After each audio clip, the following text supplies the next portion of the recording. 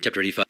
At this feast, the Spirit of Yahweh fell upon me, and laying aside my garments, I danced before Yahweh, and sang unto Yahweh a new song, saying, Blessed art thou, O Yahweh, who has given unto man knowledge of thy ways, that he might understand thy truths and see thine abundant mercies. Blessed art thou, O Elohim, who art full of compassion and grace, for the greatness of thy power, the abundance of thy truth, the profusion of thy mercies over all thy works. Rejoice the soul of thy servant in thy truth, and through thy righteousness make me clean before thee. Blessed art thou, for thou hast placed in the mouth of thy servant the sacred words of power, that I might stand as thy minister continually, that I might confer thy grace upon thy children, and that I myself may return to thy presence. Chapter 86 Sarah also rose up, full of the Holy Ghost, and danced and sang before Yahweh. And this is the song of Sarah. In thee, O Yahweh, will my soul be raised up, for thou hast bestowed upon me thy grace, whereby I am restored to thy presence. For I have entered into thine holy house and received the sacred rites of thy presence. Surely in my tent at night I will sing songs of joy unto Yahweh, as I am overshadowed by the priesthood and lifted up in the foreshadowing of eternity. Surely in receiving the, thy spirit, through the overshadowing of the priesthood, I have received salvation. Wherefore, in the midst of thy people, those who reverence thine holy name, I will praise thee and glorify thy name forever. Chapter 87.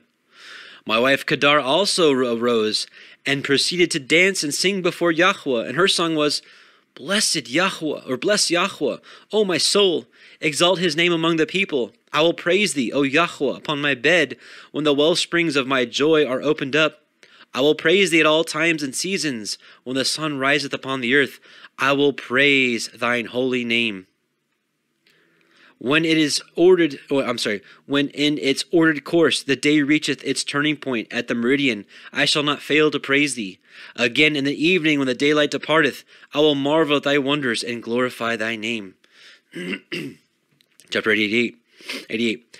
Then rose up my wife Judith, who danced and sang, saying, Praise Yahweh, who hath shown me the wonders of his ways.